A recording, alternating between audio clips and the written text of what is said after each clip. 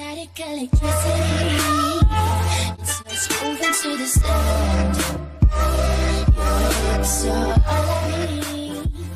What's going on everybody? Of course my name is Rockfish and today I thought I'd finally try something new where in this video I'm gonna be reacting to I think it's seven ways to escape North Korea. Anyways guys I do hope you guys enjoy this video and um, let's get right into it.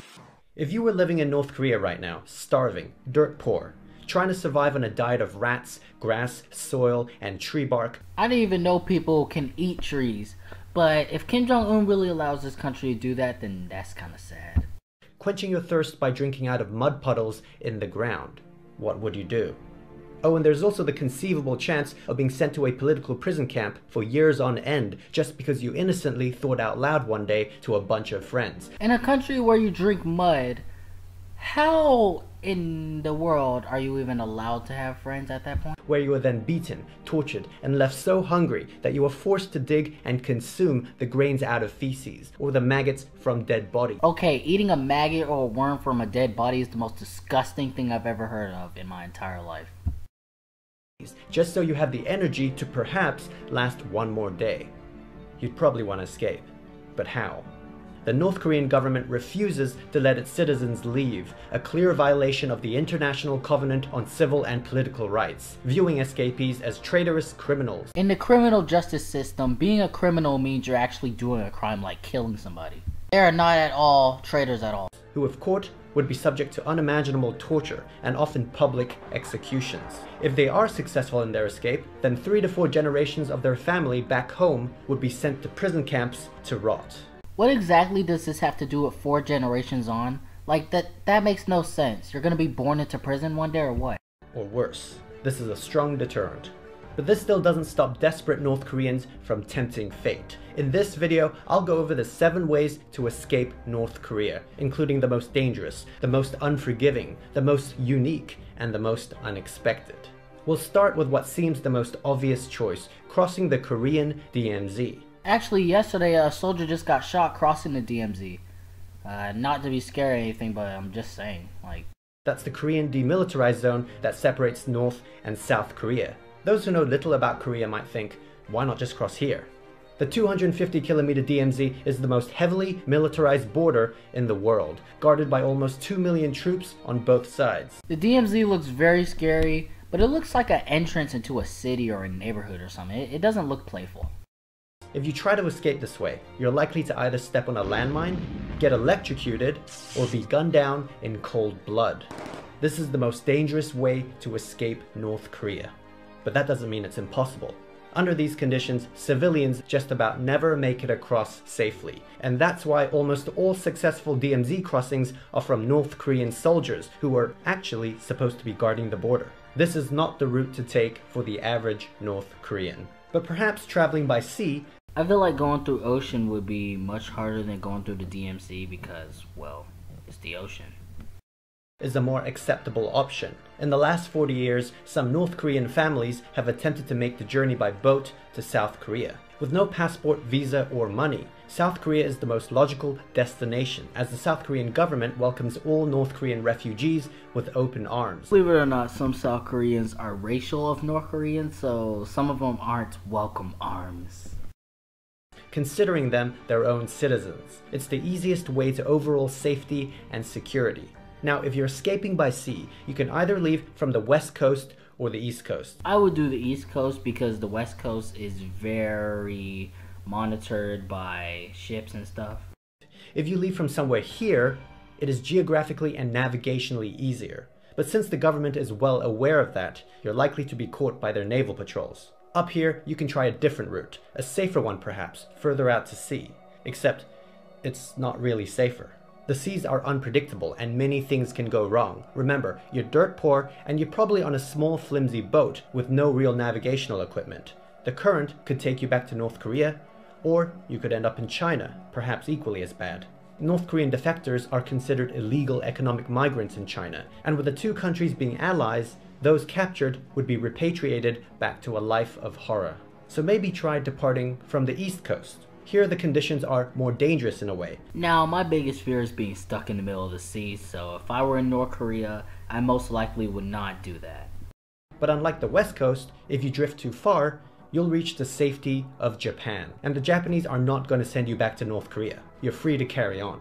To avoid being spotted by North Korean patrols, you can always try swimming to South Korea. Not really recommended, as you'll probably freeze or drown, but if you're a strong swimmer, you might have a chance. Now the next three all start off the same way, by crossing the northern border into China. It's less risky than the DMZ, but that's like saying Kim Jong-il is less cruel than Kim Jong-un. Both options suck. Nonetheless, up here you have the choice of crossing either the Yalu River or the Tumen River. This is the border between North Korea and China. The Tumen River is the more popular route as it is generally an easier crossing point, but even so, most don't make it across alive. Dead bodies are often seen floating downstream. North Korean Border Patrol also maintain a significant presence in the area. Guards will shoot you at will if they see you escaping, and many even hide underground, pointing their guns upwards through holes, waiting for the opportune time to surprise you with a shower of bullets. Now, in a way, that's just very stupid. How do you point your gun up, and how are you able to see the victim at all?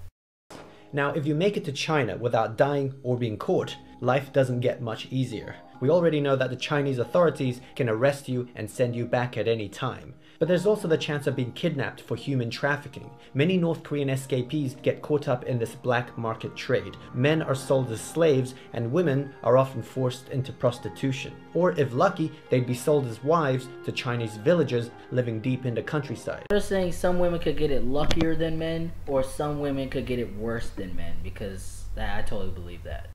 I say lucky because many women in this situation actually consider themselves fortunate. There's now a roof over their head and food on the table, an upgrade from life in North Korea. Those who aren't trafficked have to adapt to life in the slums and on the run. They can't get a job legally and there's no medical care. It's quite possible that if you get sick or injured, you just die on the streets. Why would you go to China at all knowing that people are gonna notice that you're North Korean and send you back? That's stupid. Not surprisingly, for many escapees, China isn't supposed to be the endgame. It's obviously not sustainable. South Korea is still the intended destination for the reasons I've already mentioned. So if possible, it would seem to make sense to head to the South Korean embassy to seek asylum. Well, if you're trying to do that, you might want to learn Chinese, and you're also going to have much of a far of a distance to walk if you're trying to go there. Or the Office of the United Nations High Commissioner for Refugees, both in Beijing. But once again, it's not that easy. The Chinese police often stake out the South Korean embassy and the UNHCR office, likely to arrest any North Koreans before they even make it in. If you are lucky enough to get in, yes, the Chinese can't get you, as there's immunity within the embassy. But for how long? Even if South Korea approves your defection, you're going to have to leave the embassy at some point to get to a plane to fly to Seoul. So you're still going to have to set foot in China, and that's when the Chinese authorities can grab you. Once again, that's too far of a distance to walk. You're gonna get shot. Like, like uh, I'm just saying. You don't want to end up in a situation like Julian Assange, the founder of WikiLeaks, who's now trapped indefinitely at the Ecuadorian embassy in London. Because of this, the next best option is to somehow make your way to a third country that has close ties to South Korea and preferably minimal ties to North Korea, so you can freely get to an embassy without fear of arrest and repatriation. This is where Asia's Underground Railroad comes into play. This dangerous network of routes that takes you through China's underground is meant to lead to safe haven in Southeast Asia. But Southeast Asian countries have varying levels of commitment to North Korea. Vietnam, Cambodia, and Myanmar can be options for some, but the chances of deportation once caught are quite high. Thailand, on the other hand, appears the safest option. North Koreans aren't given refugee status in Thailand, but the Thai government will deport them back to Korea. Not to North Korea, but to South Korea, where they'd be safe. In fact, many North Koreans will surrender themselves to the Thai police as soon as they cross the border into Thailand. So they're gonna tell the police I'm a North Korean immigrant, send me back to South Korea, which is exactly where I'm from. The journey from China to Thailand isn't straightforward though. It's fraught with peril and uncertainty, and at any moment you can be caught by police who frequently stop buses and trains to check passports and identification. If they question you, your lack of Chinese or your heavy North Korean accent would give it away. Getting that far and doing that good, that would not be fair. Not even 1%. That would not be fair. Now, if you make it to the southern border, you have to go through Laos to get to Thailand. Laos, similar to China, isn't friendly to defectors, so it's too risky to cross near the border checkpoint. Instead, you have to detour through the Laotian jungle and mountainous terrain. If you're able to make it across Laos, well, you're almost there. The Mekong River is the final obstacle, and crossing that border, you've now made it to the relative safety of Thailand. The South Korean embassy should take care of the rest. Now, more treacherous than Asia's Underground Railroad may be escaping through the Gobi Desert to Mongolia. I trust Mongolia, but why would I go to Mongolia through a desert? Like, are you serious? The Gobi Desert is a vast, barren region in northern China and southern Mongolia, known for its dunes, mountains, and temperature extremes, with the occasional roaming snow leopards, bears, and wolves. Not a place you want to cross. Wait, is it me or there are bears and wolves in a desert? Eh, eh, What? Despite this, the appeal of a much shorter journey to Mongolia makes it a legitimate option. Also, Mongolia, unlike some other Asian countries, has shown to be sympathetic towards North Korean refugees, often sending them straight to South Korea with minimal bureaucratic resistance. Honestly, I forgot Mongolia had airports. I'm so sorry, guys. I'm so sorry. Over the years, however, tightened border control has made traveling the Gobi Desert route less common. Wait, are you telling me right now that there are police in the desert? Why? What is the point of that? So far, we've only talked about resettlement in South Korea, but defectors can also seek asylum in Western countries, maybe through foreign embassies, the UNHCR, NGOs, or physically making the arduous trek to a country's border. Honestly, that's way too far to be taking routes or walking. Like, look how far that is. That's that, that's ridiculous.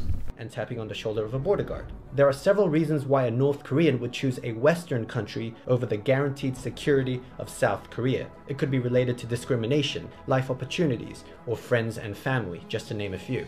There have actually been people from other countries who have pretended to be North Korean defectors in order to gain refugee status. Honestly, if you've done that before, then something's seriously wrong with you. North Koreans are having the issue, so why fake as them at all? So the vetting process is very strict. Sometimes a genuine North Korean defector will be wrongly accused of being a fraudster and get deported back to the country they think he's from. And if that country is China, well, that's just cruel. It is cruel, but if an officer actually does that, then I don't blame them. Chinese people do look a lot like Korean people.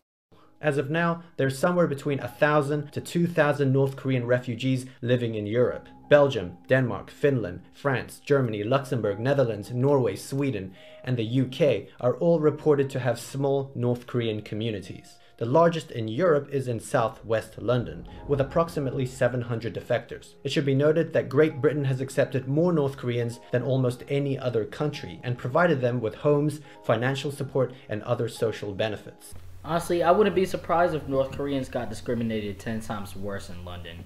It would make sense, wouldn't it? Trying to seek asylum in the US is always an interesting dynamic, as North Koreans are taught to regard the American imperialists as evil from a young age. They're North Korea's greatest enemy, after all. Even though defectors are likely to harbor ill will towards their own government, it's hard to escape their propaganda that they've been exposed to all their lives. As such, many would rather seek asylum elsewhere. But then there are those who realize that if America is supposed to be the great enemy of the regime that they're escaping from, then they're probably safe there. Honestly, I had to take time to think about that before voiceover, and that actually makes a lot of sense. There's one catch though. The processing time for the application can take up to several years, and with no stability, anything can happen during that time. One particular defector revealed he had made his way through Asia's Underground Railroad to Thailand. But when he found out the wait time could be years, he decided to hop on a boat to Argentina, trek through the South American terrain, then cross the Mexican border with a bunch of Mexicans. Okay, whoever that guy is has got to be the most smartest person in the world. Today, he is a US citizen. We don't have to illegally cross any borders for this next one. North Korea is notoriously known for its labor camps, where people live under insanely harsh working conditions. But it's not just within their own country that this happens. North Korea outsources its labor force to several other countries, including Poland and Russia. Honestly, if you escape a labor camp in Poland, you're probably the most smartest person in the world because you can go to UK. Russia has the largest North Korean workforce outside the DPRK when it comes to labor camps. People who are chosen to work in these camps, usually logging camps, live and work in remote regions of Russia's Far East. Squalid living quarters, inedible food, insane work hours, ridiculously minimal pay, often withheld pay, and fixed 10-year contracts are the norm in this wintry hellhole. Despite this, Many North Koreans fight tooth and nail to be the ones selected to work overseas, to work as essentially slave laborers. This is because working in Russia, even under these conditions, can seem favorable to the misery back home. But there's another reason why. No heavily guarded borders, no landmines, you just have to escape from the labor camp. Of course, if it were that easy, we'd have a lot more defectors in the world. In order to qualify for these Siberian labor camps, you have to go through an extreme vetting process by the government. You have to be in good physical condition, you have to have a history of toeing the party line, and, and this one's a biggie, you have to be married with children. Why? Hostages. If you escape, your wife and kids will suffer the consequences. I still find that absolutely ridiculous. The generations after that have absolutely nothing to do with it. You can imagine this is enough to keep most workers in line, but it's not foolproof. If you're able to trick party officials into getting the job and are able to later smuggle your family out of North Korea, you might have a chance. Of course, you can always circumvent that last part by ditching your family altogether. Tip, don't be greedy and ditch your family. Bring them with you. It, like, come on. Don't do that. Like, really? And sadly, this happens too often. To even put people in this situation is infuriating for many of us watching. But when you find out almost all the money that these workers earn gets sent back to Pyongyang to fund pointless nuclear projects and Kim Jong-un's life of luxury, it's too much. Honestly, Kim Jong Un is one of the most greediest leaders I've ever seen. Why are you stealing all the money? Like, that's. Finally, we get to the one that's different from all the rest. The last six were mainly directed towards North Koreans who were poor or had little to no social privileges. It's a completely different dynamic when it comes to the North Korean elite. They have security and stability, so defections are comparatively rare, but they still happen. It isn't the hunger or poverty that's the driving factor here, but intellectual freedom or political beliefs. Many of the privilege come from families working for the North Korean government, military, or state businesses abroad, and are therefore more likely to have unfiltered exposure to other cultures and their media. This exposure is still heavily restricted by the government and oftentimes illegal, but having money grants you access, one way or another, and once your eyes are open to how the rest of the world lives, there may be no going back especially for the emerging generation who are filled with unmatched ambition and drive. If you're of Pyongyang's elite and have decided to defect, it is so much easier. You have the funds to pay escape brokers to smuggle you out of the country. Okay, that's just plain out smart right there. To join the elite rather than just escaping and risk getting caught.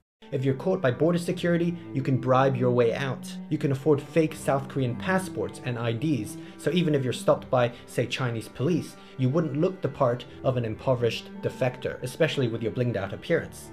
You can also pay for flights instead of making your way through Asia's Underground Railroad or the Gobi Desert. Even better if you're a student who has the rare opportunity to travel or study overseas. Maybe you're an exchange student in Europe or representing North Korea in some sort of an international competition. This makes escaping a lot more straightforward. Of course, delegations traveling overseas are always kept on a tight leash, so you would still have to be extremely careful. Don't forget your family back home would also likely suffer if you escaped, so it's never that easy. If you're a North Korean diplomat who is stationed overseas, it's physically quite easy to escape. But as a result, it's policy to have to leave your children behind in Pyongyang when you are dispatched abroad. Take time to look at all those people. That's actually a lot of people just to be in such a poor country. Once again, hostages. Fortunately for Tae Young Ho, North Korea's former deputy ambassador to Britain, he managed to convince the state to allow him to take his children and wife to London. Being a high-ranking member of the regime, he was granted this privilege. With nothing holding him back, he was now able to defect to South Korea with his whole family. Tae is the highest profile North Korean defection in recent times and was a huge blow to the DPRK. After his escape, North Korean state media did what they always do. In an attempt to save face, and after denouncing him as human scum, they accused him of embezzling state funds, spying for money, and of course, raping a child. Of course, they will say a lie like that. Come on, like, like, really? What is the point?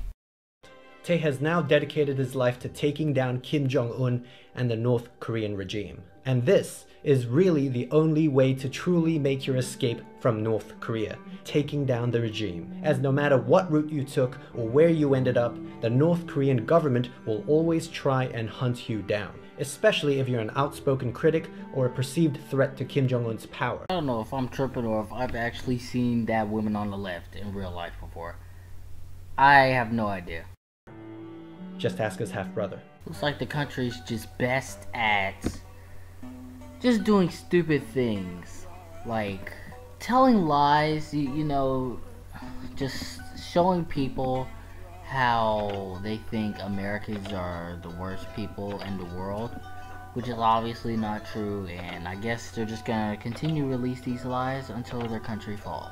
Susie on the track. Oh man, I- really hope China goes against North Korea one day. I think that will be a lot easier for just World War Three, and I, I, I don't know. It will, it would definitely help.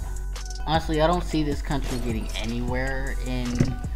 I don't know. I just see Kim Jong Un just being the most dumbest leader on earth, and I really just don't see why he does the things he does. Like We're it's non-beneficial, and I just feel like someday his country is gonna fall. We have lost Which it Charlie. probably has already fallen. Just know, well- well, in a way it hasn't because Kim Jong Un is stealing all the money for himself and trying to do all that. But he can't just spend the money just to, you know, give people food for once or, you know, North Korea is poor. It's just its military is what's keeping it alive right now, and its nuclear bombs. I don't even know why the country has nuclear bombs. I, I don't know. I just don't really see why. I don't see why that country's even a thing, but um, I, I don't really know. But uh, anyways, guys, thank you guys so much for watching this video. You guys are the best audience on YouTube. Oh, oh, sorry. Um, if we could reach 1 billion likes on this video, that would mean a lot to me. And I guess I'll see you guys in the next one. Peace out, guys.